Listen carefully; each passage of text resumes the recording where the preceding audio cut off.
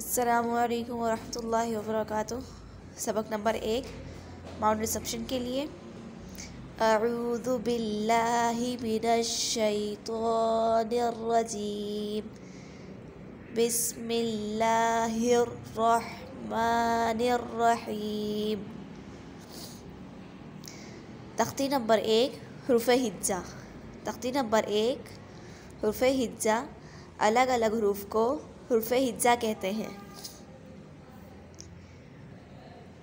अलिफ, बा, ता, सा जीम हा, ख, दाल दाल, रा, जा, सीन।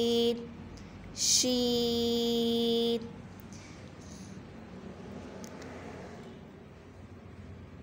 अलिफ बा इन हरूफ को, जिनके ऊपर कोई मद का निशान नहीं है, इनको सिर्फ़ एक अलिफ के बराबर खींच कर पढ़ा जाएगा।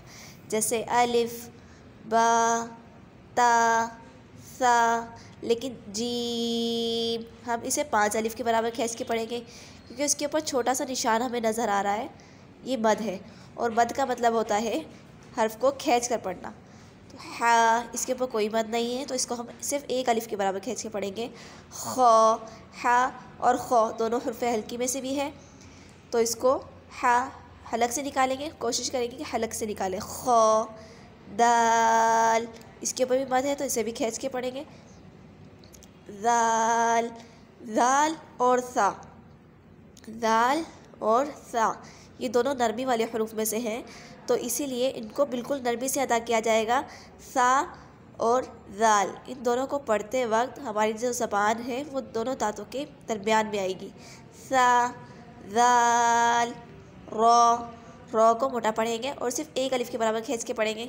ज़ा, सीन सीन में सीटी की आवाज़ आएगी।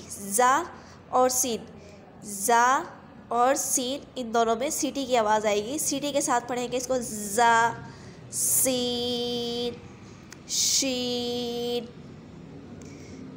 बस।